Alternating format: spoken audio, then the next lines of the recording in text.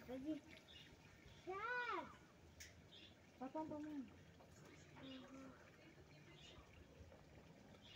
Ты на мои тапки наступил, еще совсем обордил.